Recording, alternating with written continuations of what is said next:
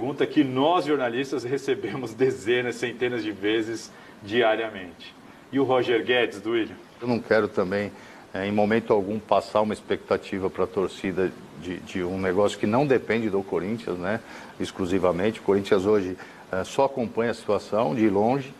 Uh, existe, lógico, existiu a manifestação nossa em relação ao atleta e a seu empresário de que gostaríamos de contar com ele no Corinthians. Roger Guedes já postou até alugando apartamento aqui em São Paulo, a esposa também. Essa eu não tinha visto, essa aí de é, alugar apartamento é, é uma, notícia então, boa que você está me dando. Exatamente, por Quer isso Quer dizer, que... também, existem outros clubes em São Paulo, né? não vamos esquecer. A gente entende que é uma peça importante, que pode nos ajudar muito, é um grande jogador, é um jogador de personalidade forte e, e joga nas posições que a gente mais tem necessidade hoje. Então seria muito bom contar com ele mas é muito bom saber que o atleta quer jogar no Corinthians. Então, uh, agora, daí disso para um acerto já feito, ainda tem uma distância. Até porque uh, não se sabe se ele vai conseguir a rescisão e se conseguir, qual for, de que forma será. Né? Agora, a gente precisa ver a parte financeira e o Corinthians vai também seguir sempre com essa responsabilidade e, e sem passar por cima do que está planejado e orçado para esse ano.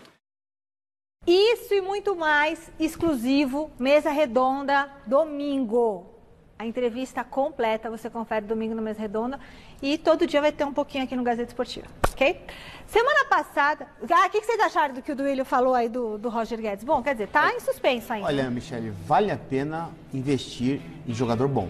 E, e vale vista, a pena? Haja vista aí o Renato Augusto. Sim, já, já chegou e pegou. Exatamente. Né? Até porque o futebol brasileiro carece de qualidade, né, Rafa? Qualidade está muito prejudicada.